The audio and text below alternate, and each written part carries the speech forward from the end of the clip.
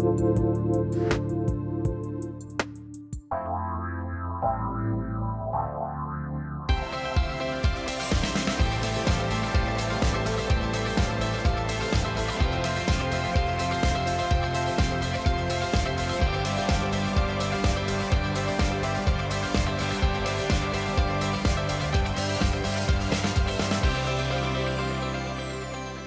welcome.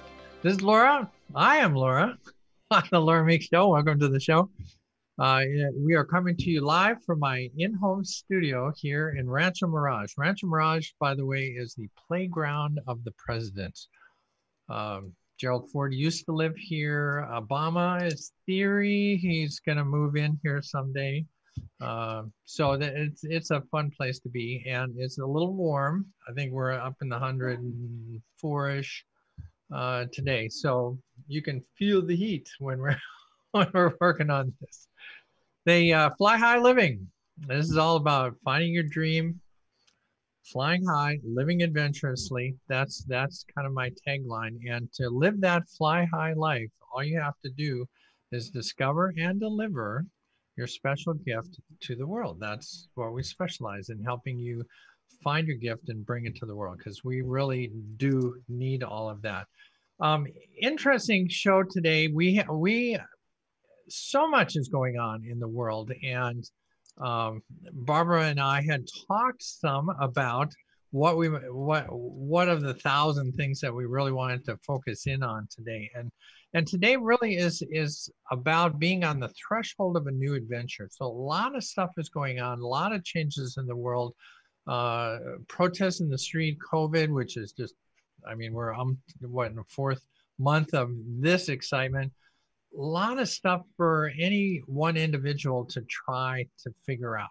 So rather than just having you figure it out on your own, we brought in a special guest. So today my guest is a returning guest. Now I always, it's so funny because when we end the show, invariably it was like, oh, and I had so much more to say. And so I invited Barbara back. The last show we did in April, uh, Barbara, you and I talked about the six mental faculties and uh, paradigms and perspective, I think, are going to be a big part of today's show. Um, and we want to, so kind of my focus today is, is for us to chat about how, how we can take this confusing world and then make some sense out of it and take some steps forward so that we feel a little safer, a little more secure, a little more at peace with what's going on.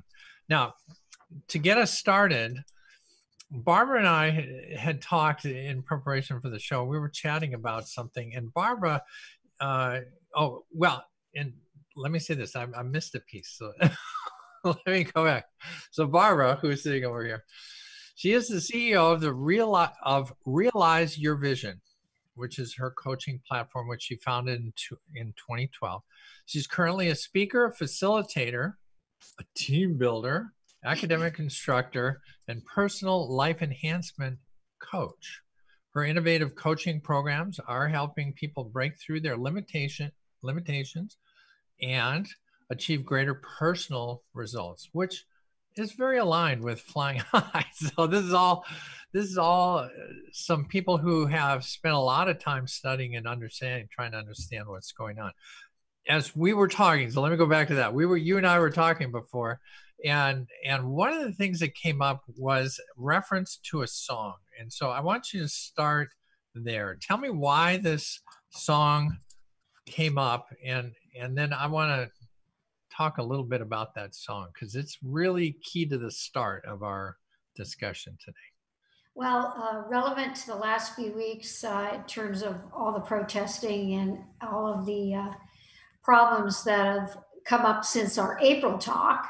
Uh, we're still in a tremendous time of uncertainty, but one of the things that was brought to my attention were the lyrics from a Rodgers and Hammerstein play and movie from the 1950s. Nine. Um, some of us were just really small children. Some of us weren't born yet. But I want to read this, the lyrics of this song to you from South Pacific, which was a play and a, and a movie that was about the islands of the South Pacific and the young starring lead, um, the male starring lead, wanted to marry one of the women that had been born on one of the islands there. And this is what the lyrics are. And it's very pertinent to what we're going to be talking about today. You've got to be carefully taught, is the name of the song. You've got to be care- carefully taught how to hate and fear. You've got to be taught from year to year. It's got to be drummed into your dear little ear. You've got to be carefully taught. You've got to be taught to be afraid of people whose eyes are oddly made and people whose skin is a different shade. You've got to be carefully taught. You've got to be taught before it's too late, before you are six or seven or eight. To hate all the people your relatives hate, you've got to be carefully taught. You've got to be carefully taught. So, Laura and I were talking a lot about that in terms of what kind of perspective we personally can take or adjust to or adopt or reflect on that could give us more of a sense of liberating ourselves from some of the early things that we learned in our upbringing because a lot of the things we learned in our upbringing are what we call truth and we're going to talk today about the uncertainty of truth and how do we judge truth and how what perspectives can we take? And as individuals that pertains to what can we do today to rectify things not only in our own country but globally in our own personal way in our own personal lives.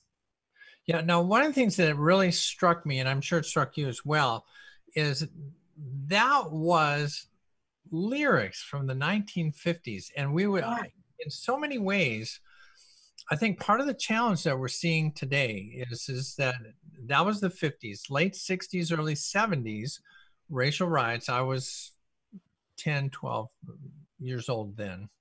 Um, but I was well aware. I mean, I grew up in Minneapolis where George Floyd was, and and the perspective then was there were race riots downtown Minneapolis. They were hosing people and they had dogs and i mean it was a, a, real real mess and time of real change but the funny thing is is is that we recognized in the 50s we recognized in the 60s 70s 80s 90s 2000 2010 here we are 2020 holy smokes we're still talking yeah. about and that I think is so discouraging to so many people who have been through that. Plus, our history, as you and I discussed, Laura, before, our history as a country was really based on the fact that the uh, founding fathers came over from uh, the European countries to really have freedom of religion and freedom to express themselves.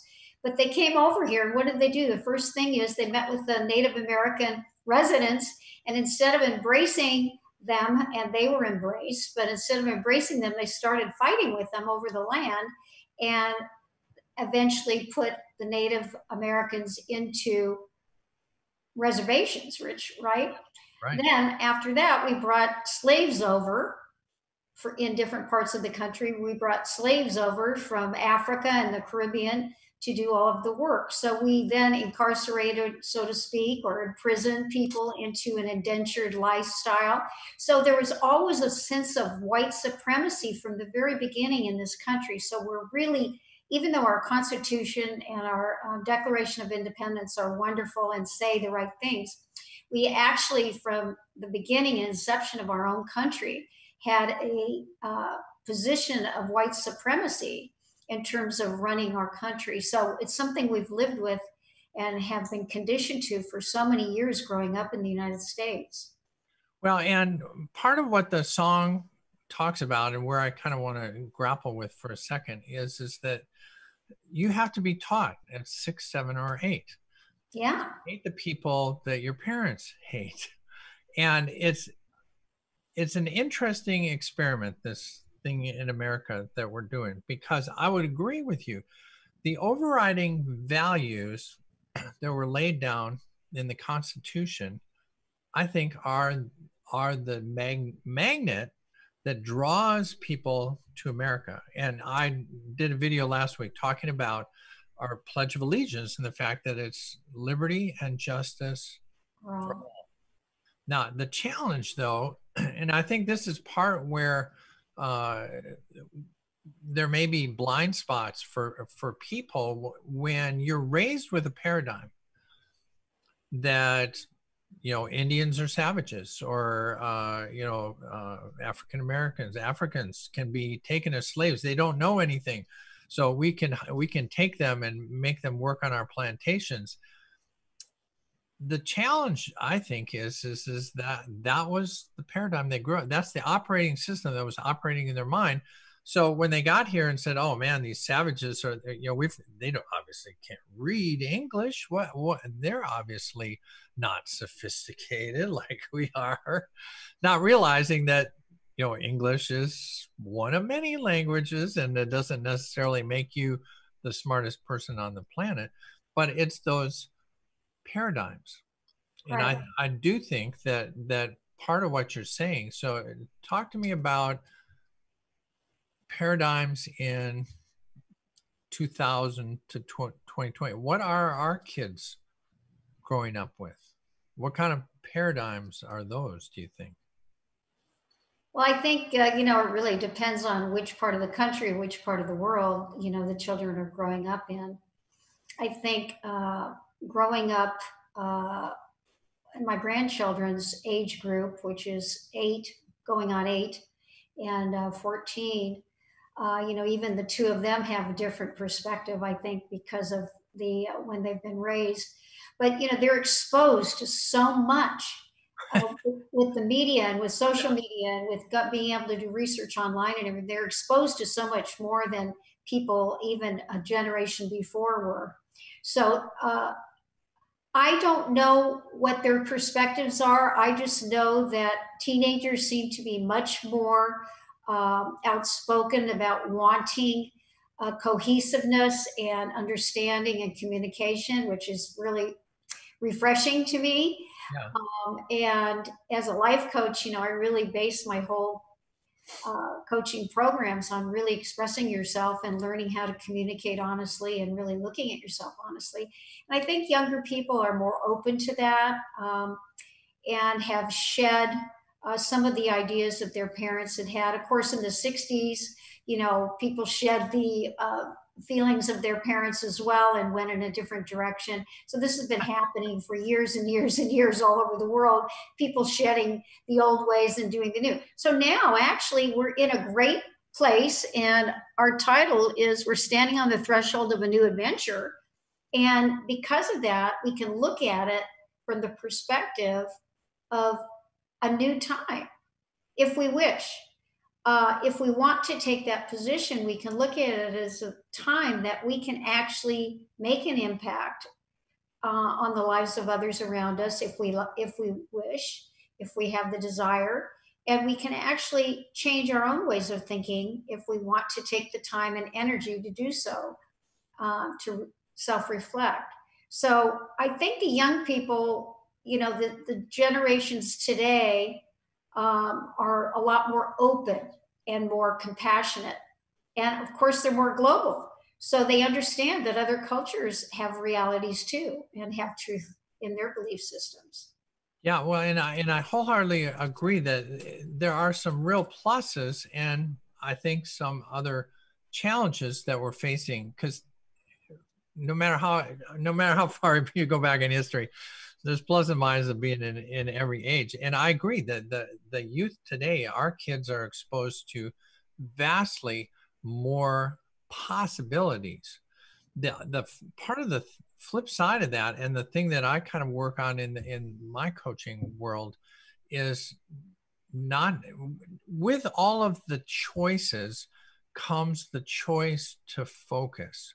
Yes. And unlike in in our era where we grew up and there were three news stations and they kind of gave you a balance as best they could a balanced version of what was going on you know chet huntley and all those guys you know they we always respected those guys because they really didn't ever stop and say this is how it is or this is my opinion. They just kind of tried to tell you the news. My my challenge now is is is that with all this choice comes the choice to just focus on people who believe what you believe.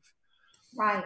and and and and I want to let's I want to circle back for a second about the idea of rebelling against your parents. Can I assume that you had some phase where you just your parents just did not understand what it was like to be you and i'm I, and i you know that i think for the 60s and 70s that was a huge shift in the parental paradigm. You know the earlier 50s version was ozzie and harriet and you know you respected your parents and yes or no sir and and whatever they did you did and you kind of cloned yourself into that uh, I know when I grew up, you know, all of a sudden boys had long hair and we were wearing, you know, bell bottom jeans and, and no one could understand what we were going through. But there was a kind of a definitive, I'm leaving. I, I hear what you're saying, but I'm not going to join in on that. And so talk to talk to me about this because I think within the within the realm of our audience, people come to hear about possible ways to to change what's going on. You know i think i think that's transformation talk radio and everything that we talk about has to do with the fact that you might not be exactly happy where you are and you might want to make a change. And so to me a lot of that is first of all noticing the paradigm that you have. I i just went through dream builder live a couple weekends ago had a lot of shifting because all of a sudden smack my paradigms were like smack in my face. It's like, whoa, I didn't real, realize that, that was happening. Tell me about paradigms and and how we can change our paradigms. How can we how can we break away from this? I'm I'm Republican. I'm Democrat. I'm I'm you know a Raiders fan. I'm a you know how, how do you break out of that? Well, I wish I had a, an answer for that. I uh, the only thing I can say about that, or some of the things I can say about that, is I can use a story uh, that I tell people. It's a story of a big tree. Let's let's imagine you're looking out the window at a big tree, and it's a beautiful tree. And from our perspective, we see the whole tree. We see all the leaves. We see how big it is, and we see the the, the trunk and the bark on the trunk. But if there's a bird in a nest in the tree, the perspective, and that's the key word here, the perspective or the perception of the tree is just around the nest where the leaves are and where its its nest is. It flies in and out to its nest and it sees leaves and it sees branches right? So its perception is of that. And if there's a bark beetle that happens to inhabit the trunk of the tree its perception of the tree is all about the bark and what is it going to be able to eat in the bark. So there's three perceptions there. And of course, we all, as individuals, as humans, we have many different perceptions of what is truth, right? That's the real question here. Yeah. yeah. But if you realize that they're all living in the same tree and we're perceiving the tree, and of course, we could talk about other creatures that could live in a tree too, like ants yeah. and different kinds of creatures that live in trees, fungus, and all kinds of mistletoe. I don't know. Yeah. But our perception is of the whole tree. So, depending on what the input is in your life, meaning what you were talking about, Laura, if you're listening to Fox News, you're listening to this, you're watching that, you're getting social media in, input, you're getting, you know, you're you're getting a lot of input, tremendous amount of input today. And depending on how you sift through that input, one needs to develop a sense of fact or truth. And it's very, very difficult today. And that's why we're in, and just like our last session in April, where we talked about uncertainty, I believe my perspective today is we're still in tremendous uncertainty. How do we cope with COVID now that we've all come back into living somewhat of a sense of normalcy, but it's really not because we still have to be cautious and we're some people are more cautious than others, and there's the, doers and doers. Tulsa, uh, we found that out. There's all sorts of perspectives on everything going on, and there always have been, and there probably always will be. But my recommendation is as you you talk about paradigms those are really our belief systems that we were have ingrained in us for over the years and, and our experiences have shaped in us.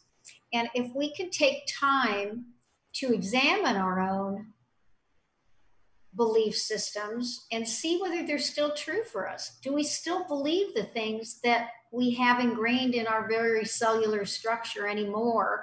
Or do we want to change those? And if you want to change them, there are ways that you can go about reflecting and allowing yourself to look at different perspectives. One is listening. If we learn to listen to each other more, I'm sure all of us have friends, really close friends that we really like, but that have different political or social points of view. And it's very, very difficult to love them and care for them in the same way when we are we have different perspectives of what truth is. But as human beings, we're all different, but we're all really the same. Yeah, and well, we and we can look at people like in in Asia, you know, when they say namaste, if we can look at as in individuals as having the sameness inside of them, they want love, families, a home, uh, financial security, just a sense of belonging. Everybody really wants the same things, no matter what shape their eyes are, what their religion is, what part of the country or world they're from, what the color their skin is. We really all want the same things. If we could learn to respect one another, and if we can work on ourselves personally, which I think we'll get to in the second half more, yeah. right, Laura? If we could really learn to personally take responsibility for our own words and actions more, we might be in a better place with one another. Well, and that perspective is key. You know, I mean, we talked about the fact that that you know when we the early Americans came over from England or Europe and and trying to escape this religious background. If well, we want to be free to to uh, experience religion in the way that any any of us want to, and we and we have that. But but they also came with a with a paradigm that there is a hierarchy of human beings, and that we're on the top, and then there the you know the Native Americans and and the Africans they're down here, and because of that they crafted up a system that they figured was fine. this is fine. This is this is part of our belief. And it wasn't, it really wasn't until people started thinking, well, I wonder what it would be like to be a slave. It's yeah. like, yeah, that can't be good. I don't think I I don't think I'd want to be a slave. And then you find, you know, so all of a sudden there's a, a smattering of people who had a different perspective, then splits a country into two perspectives, like this is okay and this is not okay. But it was through that that challenge of that paradigm that that they were actually able to discuss and sadly fight a war over, but but I, I, guess what I'm getting at is, is is that I think for us right now, and, and and let's just talk about the COVID issue and the masks. There's yeah. people there's people that think that masks are not needed, and there are people that think that masks are needed. And part part of what has to happen is rather than being in a win lose Super Bowl mentality, like I'm right and you're wrong. That I, I think there is a paradigm that we have to work on in America of this I'm right, you're wrong, because there are people that will fight to the death saying that that this is oppression of the government to make you wear a mask. And the other half is saying, like, I don't want to die of the virus. Could you please wear a mask? And and what's happening is is each side is like sticking to their guns, like this is my firm belief. And somewhere in that, we have to say, let's get curious. I, I like this. This uh, this came up in a, in a in a seminar recently. Instead of saying I'm right or I'm wrong, say I'm curious as to why you believe that. Why? What about that is that you believe, and so that you can have a dialogue, because there's there's science that we could talk about. There's beliefs, you know, honestly, the people that believe that this is uh, government oppression believe that. I mean, that, you know, it's just like people believe that Africans were fine with being a slave.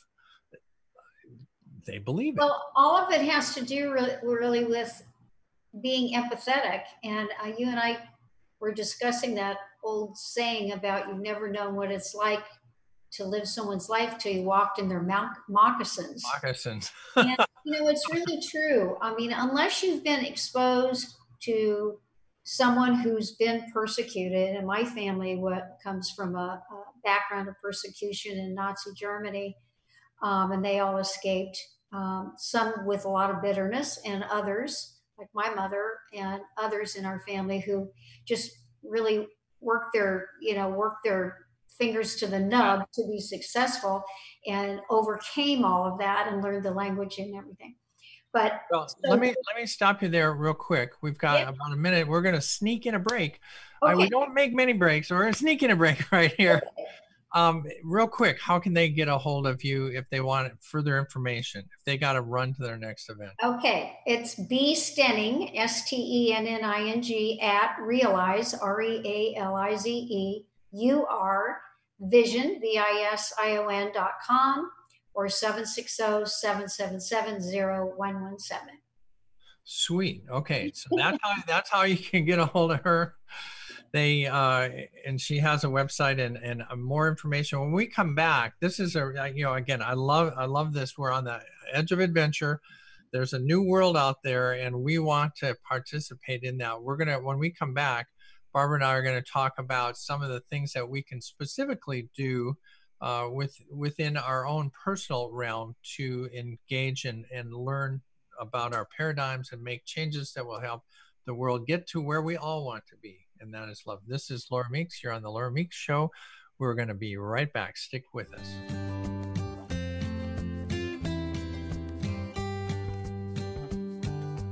Hey, this is Laura Meeks. Welcome back to the Laura Meeks Show.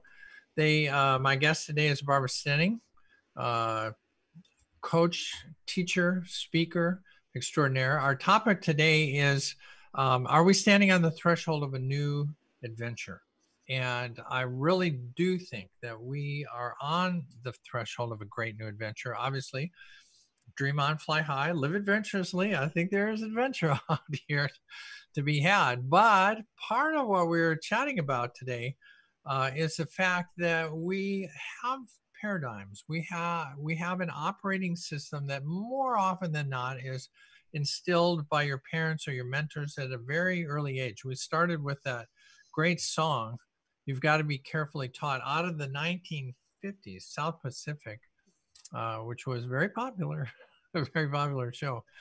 But the essence of that song saying is, is that parents teach their kids how to hate, how to hate people with different eyes. It was about South Pacific, so there was a, a, a, a stereotype, I guess, of uh, Asians and South Pacific Islanders and but the point being is is that we do learn these things and then kind of where barbara and i are talking today is the is the fact that you get to choose whether that operating system that you started with is going to be the one you live with for the rest of your life. And i think in so many ways that that is part of the challenge that's going on that that in a lot of ways we all have the systems that we got at birth. And unless you somewhere stop and ask yourself, you know, if you grew up Catholic and now you're Catholic, you have to ask yourself someday, some way, is this what I believe? If it is, stay with it. If it's not, then you have the opportunity to change. I think that's the adventure uh, that we're talking about. One of the things that that we're going to start this segment with is George Floyd, eight minutes and 42 seconds, ends his life, all over a $20 bill. And the question then becomes do we have a just system?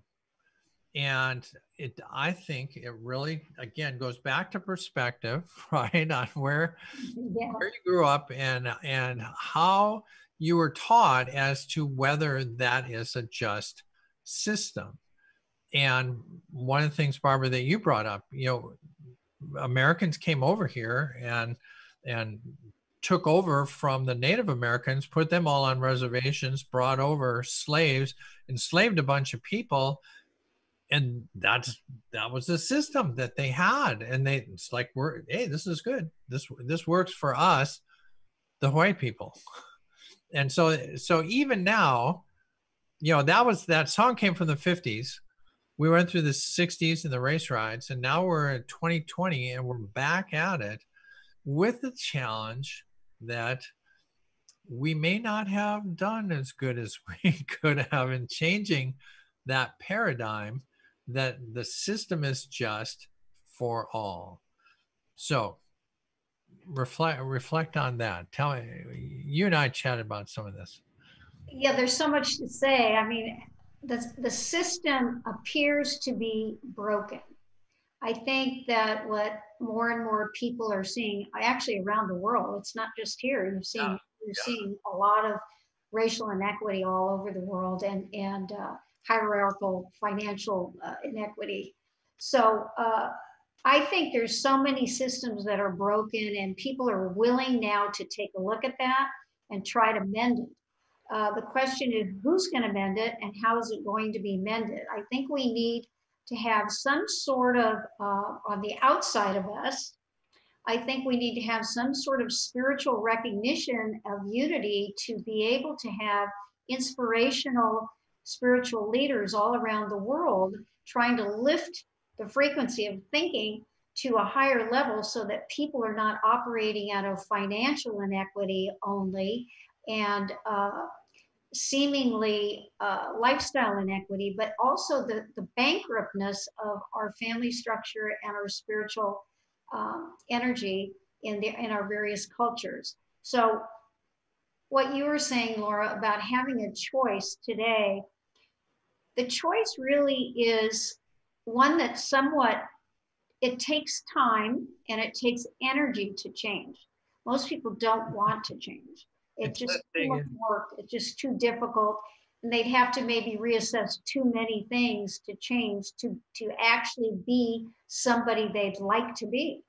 So some of the exercises I give some of my clients in order to be able to reach down and touch some of those inborn mindsets that they've grown up with is to ask them on your deathbed and you're looking back at your life who would you how would you feel what would you feel most proud of in your life that you've become? What would you uh, what would you like people to be saying about you at your celebration of life? What kind of a human being in other words have you become over the duration of your life? Uh, and reflecting on those types of end of life kind of perspectives, which really gives you a whole different feeling than if you're just in your everyday reality of survivalhood and uh, social issues. So even when you're young, you can be looking ahead and saying, you know, not only who do I be, want to become, which is what you and I do a lot of work with people on, but who do you want to become? That's very important. And then, are you going to become it? And are you going to be able to take the time to figure out who you are today in order to become who you want to be? So, both you and I went through a lot of years of learning how to look at our lives and had the drive and the instinct and the desire to become something else in our life. We made job transitions, you know, work transition, career transitions. And actually it's really up to the individual to be able to impact others in their life because by example is usually how we're judged not just by our rhetoric we can say all kinds of things but the way that we behave speaks so much louder than yelling or screaming or forcing people to be able to believe the way we do and listening, as I said earlier, is a wonderful thing to try to cultivate in yourself as opposed to constantly talking or thinking ahead. Yeah. Well, and I would say, even a lot of people say, Well, I heard you. That's vibration on your ears. I heard you. I don't want to believe you. I don't want to think about it. it it's a different thing to listen because list, listening means you're incorporating some of your values and your thoughts into what what are they saying. Now, one of the things that I think is important is the awareness. You know, we talk about the fact that you have these paradigms. Most people, I think, you know, they they get this, uh, you know, zero to 10 years, and then they just kind of run the rest of their life with those without ever really stopping to say, wow, you know, what's going on there. But I think part of what made George Floyd so important and the and the the current activity in the United States and around the world is is that that is bringing huge awareness to this. I mean, it's one thing. Uh, you know, it's funny when my mom, when we grew up, mom was an executive in an ad agency as a woman, and she would come back and say, "Well, you know, the guys did this, and they talked over me, and they, you know, they wouldn't let me do it." And, and we're we're like, you know, never seen it, never heard of it. Mom, you must be crazy.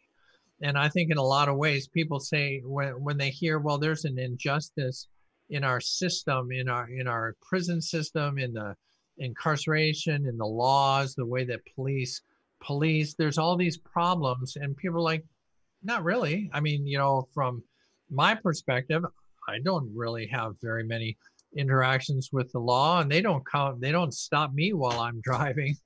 You know, so so in my in, if you just focus on your little reality you would say, well, that doesn't really exist. But then now all of a sudden you've got smack dab in your face on TV.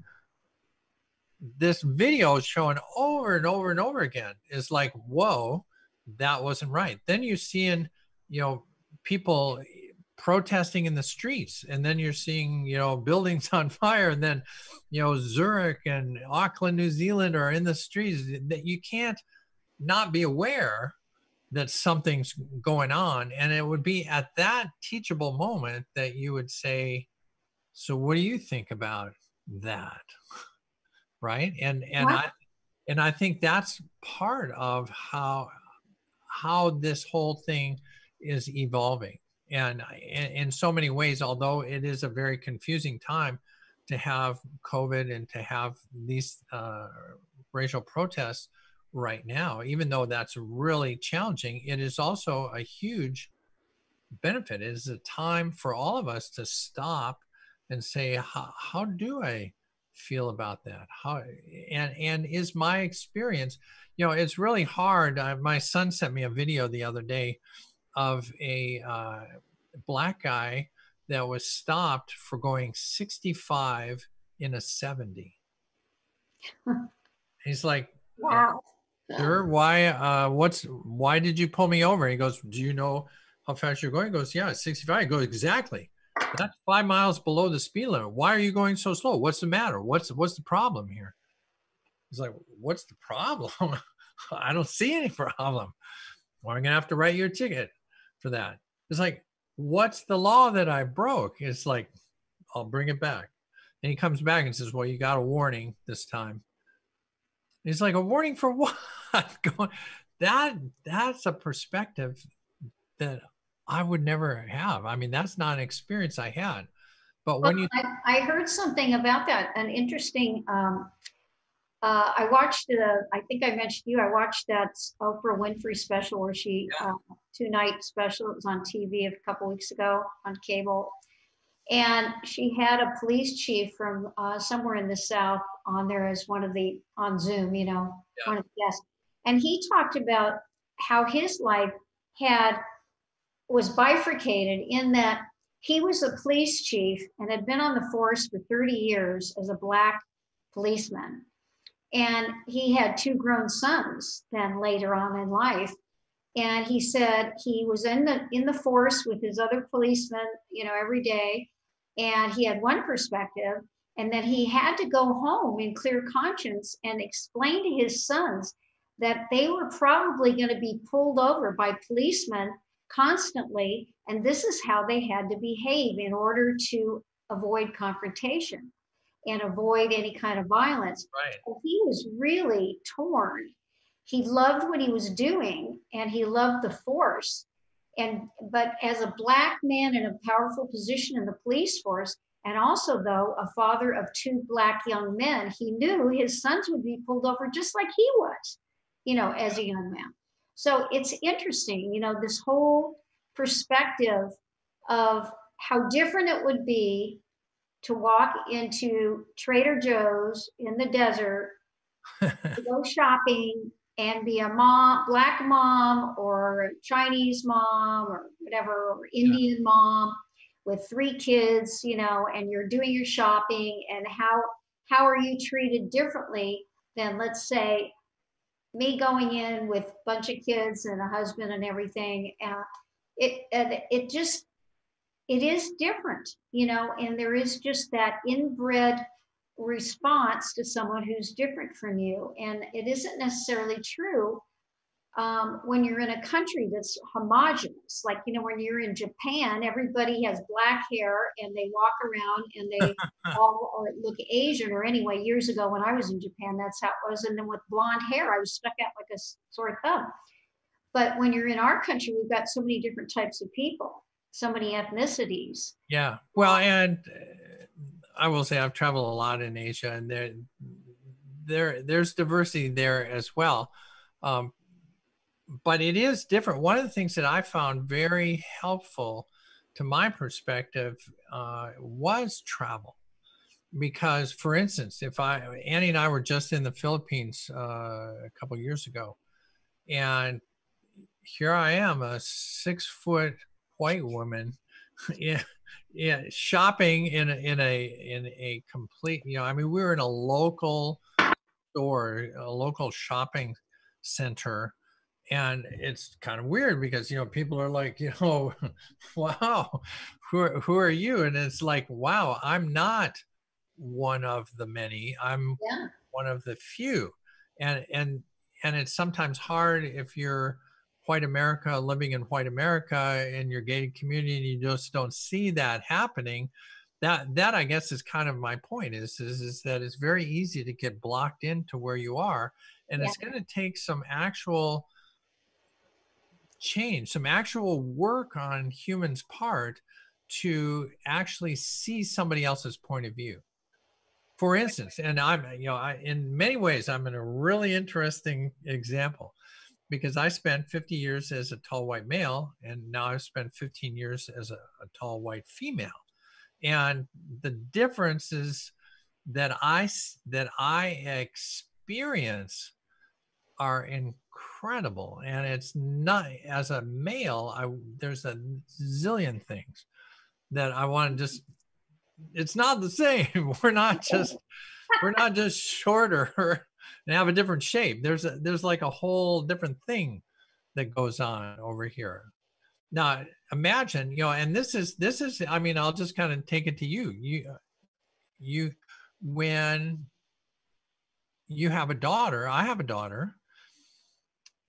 As a father, I would say, you know, here's some things, honey, that you need to do. Here's how the world works. And then Annie, her mom would say, Hey, you know, this is, well, you know, dad doesn't really know all the ways of women. So let me tell you about how it really works. And in so many ways, it's it's a definite blind spot until you actually, you know, walk in somebody else's moccasins. Yeah. now, in your life, and tell as a woman, tell tell me about how something that you might explain to your son or your husband that's like you know honey mm, it's not like that.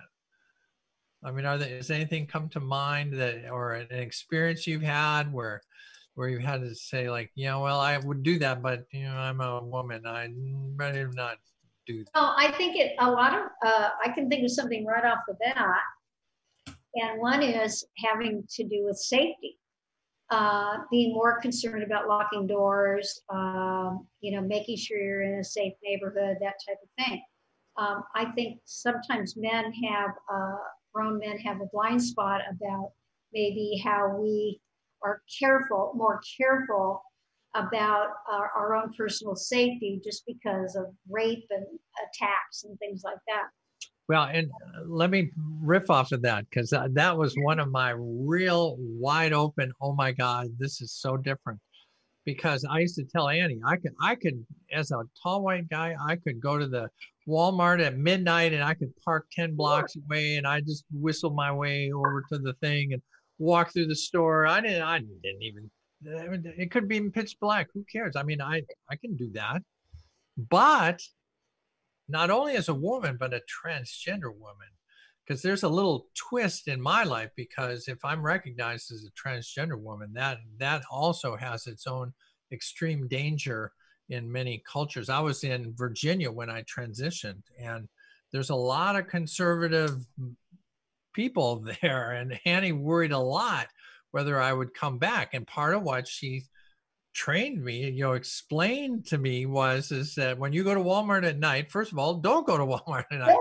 That's the first thing. But if you're stupid enough to go, park under a light near the door, go in, come out with your keys in your hand, right? In case somebody comes up on you, at least you have something sharp and your keys are ready to go. Open the door, close the door, lock the door. Now somebody can't pull that door away and pull me out. As a guy, I would have never, never had worried about that. No. But but that's walking in somebody else's shoes. And I think, you know, when you're looking at George Floyd or or the the justice system, you're saying, well, no, this is, you know, we have liberty and justice for all. It's like, oh, maybe. Well, I was I was listening to somebody speak who uh, a gentleman who um, I've been listening to his uh, podcast. He's uh, biracial, and he was talking about uh, he his his job, his career is placing people in executive positions, affirmative action positions uh, in large corporations. And so he was saying that, yeah, he can place let's say a black gentleman or a black woman uh, in as a CEO who would be very capable on paper of doing the job. But the, the transition is so different because sometimes the, the existing for, uh, sales force or the existing personnel in the company does not really receive them and integrate them. In other words, integrate them into the system very well. And it makes them sort of feel separated at the top. So there's so much integration that needs to happen when you bring somebody in, uh, either a woman CEO or a woman CFO or something like that to run a company, and whether people are going to receive them with yeah. Well, and, and it's uh, again, it goes back to your model that you grew up with. Our our women respected. I mean, when we have a whole Ozzie and Harriet thing going on and women stay at home and they don't, they're not smart enough really to drive a car and they pretty much can make the bed. But dad, he's smart. He can go to work and, and that carries forward for generations. And there's a lot of paradigms that, that we are grappling with right now. And that, and a lot of that has to do with the systematic the system that was built around a set of assumptions. And and the thing that's like becoming more visible is is that the assumptions when they built the system were kind of favoring one group over another. And as as a transgender woman you know one of the things that i, I pointed out last week uh, thankfully two weeks ago two weeks ago if I were in 20, any one of 26 states, so more than half of America had laws on the book that said that if I came to work as a transgender woman, you could fire me legally, happily. It was expected. That was the law. Now, thankfully, the Supreme Court struck down that law last Monday. Yeah. Uh, which is a, which is a step forward because see there is just in that in my experience there there is this as a transgender woman i'm an other. I and there's there's a certain expectation of what a transgender woman is and how capable we are and uh, you know that we have to be segregated out just like women. You know uh, my mom was an executive annie that was an officer with me in the military and talk about a difference. You know here's a woman who uh, there were, I think, 5% women in the military uh, when she was an officer. And as an officer, it's kind of like you were saying, you're a leader. And so you walk into a squadron and you say, okay, here's, you know, this is what's going on. This is the mission. And all the guys like, yeah, like what? Yeah, exactly. Tell the, tell the other colonel to come in here. And, it, you know, it's like, what are we going to it's like no listen i see the rank the rank says you're going to go do this but how you do that and that's a whole nother discussion. As a woman you can't just come in and be the tough guy. Guys can be the tough guy but women have to come in with a little bit different way of doing things and all of that comes from this background. Well, what you're saying there is a whole other subject, which I could talk about for hours and hours, which is as a woman leader in, in business, you, you cannot, uh, we, we, we were trained originally through, you know, the whole women's liberation movement and everything to try to behave like men. Well, I don't think that today we need to do that anymore. And I think that good leadership skills involve incorporating some of the nurturing qualities that women are are so good at and listening skills and communication skills so that now we can incorporate our, our innate natural way of being as a woman into being a good leader Yeah. and so it's taken years for women to get off of being you know so stringent and more masculine in their approach like as a newscaster or something like Yeah. that i have to actually be real. I have to stop uh, you there. I, Barbara, I'm gonna have to stop you there because that you're right. We got to. I'll have to bring it back again because we're out Yeah. of time. Please. We, uh, we can talk. We can talk about that. There's a whole, a whole thing. I'll end this with the idea. Please, everybody, think about being unified. That we are one, and that that there are different experiences out there, and that it's up to you to actually find a way to understand what they're doing. This is Laura Meeks. We're on the Laura Meeks Show. Barbara, thank you so much for being here You're welcome and we will bring you back again. There's more to talk about. so much. Laura Meeks Show. We'll see you. Thank you, Laura. Bye bye.